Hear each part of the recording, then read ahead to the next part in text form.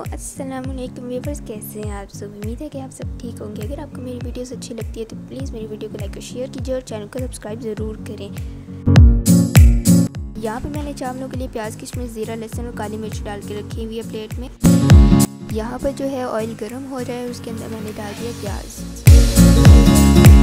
तो जब तक प्याज ब्राउन हो रही है तो यहाँ पे मैं हरा धनिया, हरी मिर्ची और साथ में टमाटर काट रही हूँ।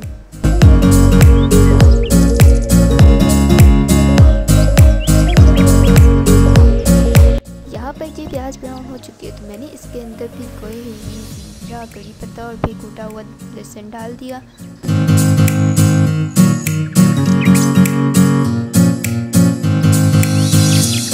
इन चीज़ों को टाइम देने के बाद मैंने इसके अंदर टमाटर और हरी मिर्च डाल दी। अब मैंने इसके अंदर जो है सूरख मिर्च डाली। साथ ही मैं इसके अंदर हंसपे जायका नमक डाल रही हूँ। अब मैं इसके अंदर चने डाल रही हूँ क्योंकि सारा मसाला रेडी हो चुका है।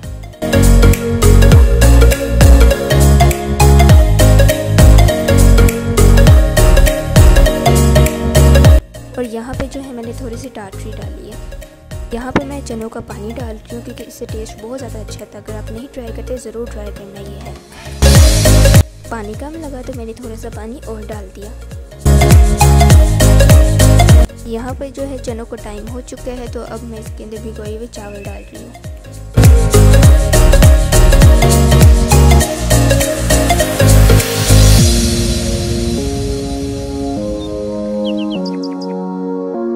यहाँ पर जो है चावल पक चुके हैं तो मैंने इसके ऊपर थोड़ा सा धनिया डाल लिया और अब मैं इसको मिक्स कर रही हूँ।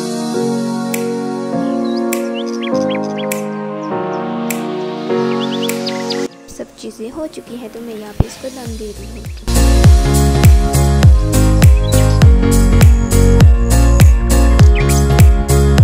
यहाँ पर जो है चावल तैयार हो चुके I hope you like my video if you like my video then please give a video good thumbs up take care अल्लाह हाफिज़